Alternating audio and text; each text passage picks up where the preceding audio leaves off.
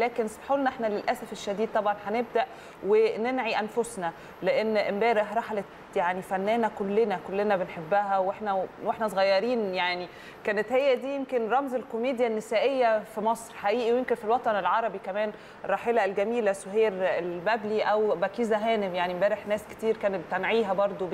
بكيزه هانم الدرامالي ال- ال- زي ما تقول سلسلة المسلسل المسلسلات كمان والأفلام اللي كانت بتعملها اللي لحد دلوقتي إحنا فاكرين حتى كلام منها.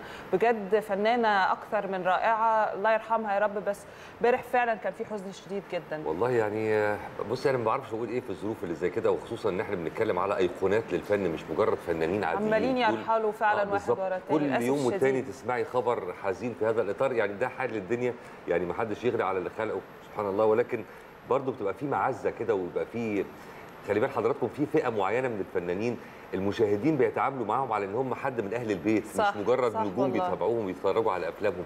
في كاريزما شديدة الخصوصية طبعا كانت بتتمتع بها الراحلة العظيمة آه، سهير البابلي رحمة الله عليها واللي طبعا اثرت الفن المصري مسرحيا وسينمائيا وتلفزيونيا بكتير جدا من الأعمال وكتير من الشخصيات اللي ما تتنسيش.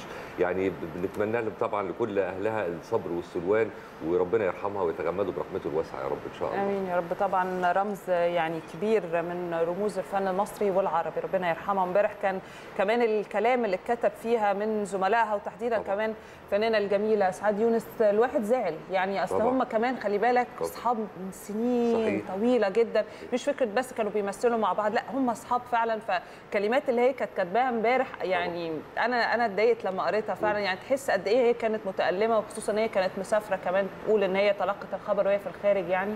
طبعا. ف...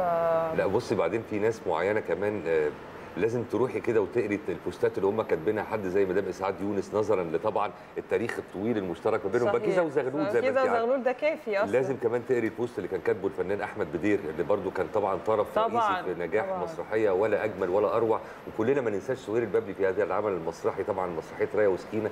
فالناس كلها متضايقة الحقيقة. بس نرجع ونقول أدي حال الدنيا. أدي حال الدنيا. وزي ما بنقول دايما الشخص بيرحل لكن أكيد تاريخه وذكراه وأعماله هي اللي بتبقى.